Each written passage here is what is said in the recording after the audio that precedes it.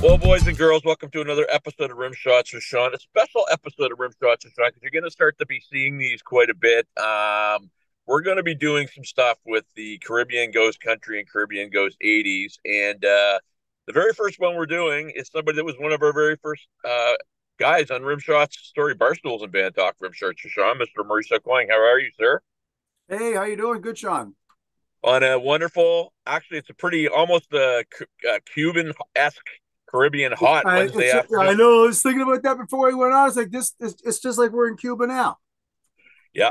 Uh, soon enough though, because time's going to fly. I mean, it's April, but before you know it, it'll be here. So, um, you've gone down there quite a few times. Uh, you you go to I think Costa Rica, and you you've gone to Cuba. Oh yeah. I mean, I mean, yeah. I, I, I travel like a lot of people do. You try to get away once a year and all that. Uh, been to Costa Rica. That was kind of a musical week too. That, that was kind of fun. That was kind of on, a road, kind of on our own thing. And then last year, of course, this event.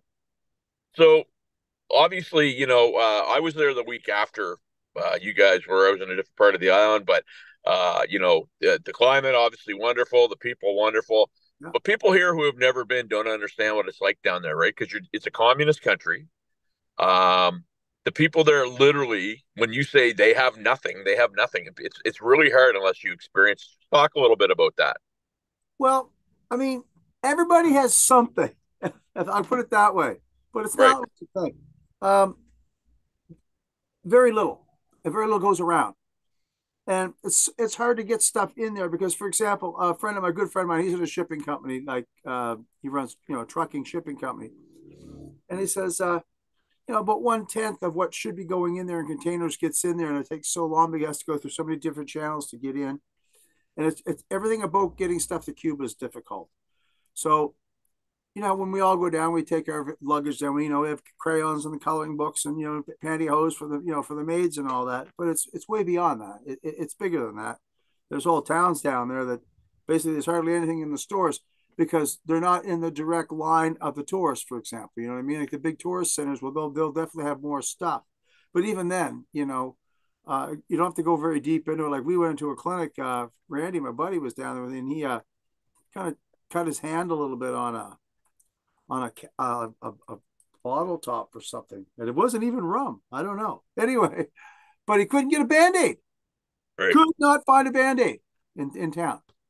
So what I'm saying is that those those are the things that you, you we take for granted here, right? You know.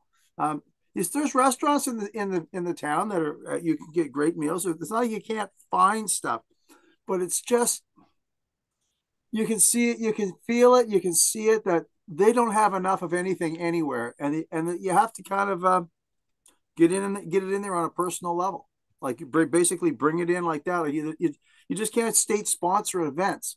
It's you can, but what happens is that the help that you're looking to, to do isn't going won't won't go where you specifically want it to go. It's where they'll dictate it goes.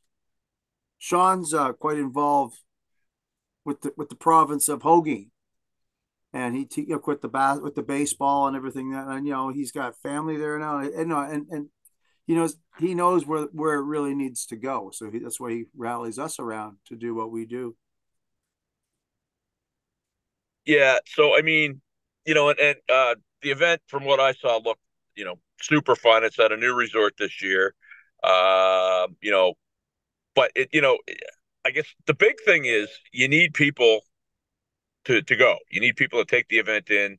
Uh, I think he's got room for about 800 people this year, which you know Yeah. should be a lark, man, with a lot of good music and a lot of fun. You should be able to sell 800 tickets.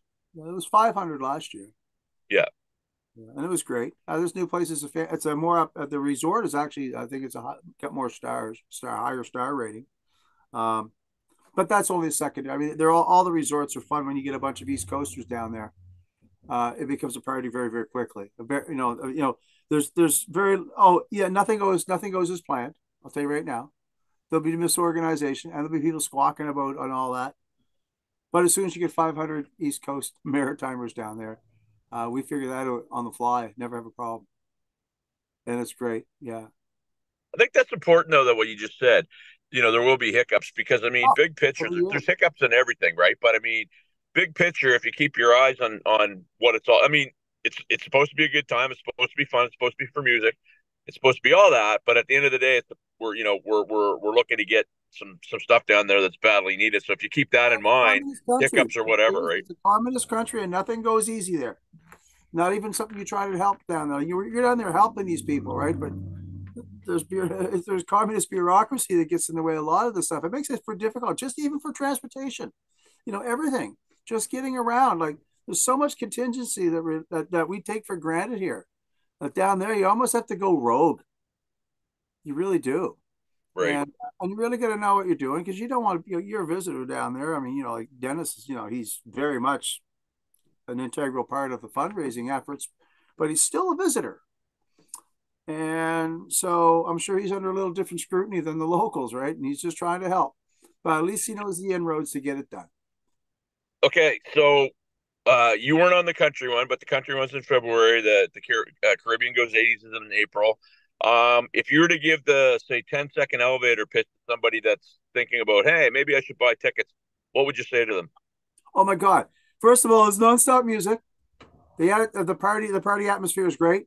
Um, just have have a great time with and uh, you're going to be hearing songs that you've always heard growing up, and it's just going to be weird hearing them in Cuba and hanging out with your friends, listening to the bands. Like, I mean, you guys are going to knock it out of the park with your band. Uh, myself down there is great. Uh, CP, it, it's just it's a bizarre it's a bizarre experience, and uh, it's a blast. You'll have a great time. There's no question. It's a great time, and uh, uh and it's affordable. I mean, it's like an extra. I mean, you put a surcharge of about 100 150 bucks in your ticket, and you get entertainment for the entire week you know that and and you're doing it for good cause too right? So you know what? And thank you for saying that because i would love for you to give the pitch. There was a post the other day um you know somebody was complaining about uh, ticket prices and somebody else said well you know you'll spend 80 90 bucks to go to a hockey game downtown halifax but you won't spend 10 bucks to go to a club. It's 15 dollars to see any band downtown halifax night for a cover charge. Right. seven nights of it and probably twice a day so there you go. So I mean, really, if you break that down, you're talking maybe four bucks a or whatever. Yeah, I mean, you can't get right? entertainment for free. I mean, you know what I mean? Like it's you know, yeah. I mean, like we, I'm not that you can't, but the whole point of it is that's that's part of the draw to get people down there to put all this together to, to raise uh to raise uh you know the goods and stuff that we're bringing down there.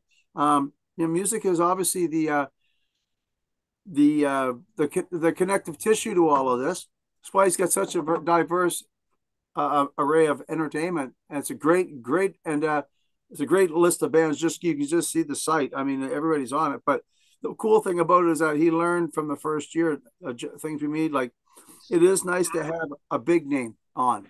You know what I mean? Yep. But when it comes down to it, the yeah, you had to be there last year. You know what I mean? Everybody just stepped up. You know, uh, we had a hard time getting the big names in there. There was it was it was definitely uh, was uh, it was frustrating because you're dealing with Cuba again. a lot yep. of it was contingency, and uh, but so we went down with what we had.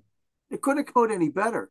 So what he's kind of doing more of a house a house band sort of setup, or you know, a core group of musicians. So he whoever comes down there, it makes it a, a much more um, practical way of providing of, of giving the entertainment for the whole week without having people come down with like 15 guitars and all the stuff. Right. And more of it on the actual event, which is bringing down, you know, goods and stuff for the uh for the people for the people for the people that we're raising that we're raising it for.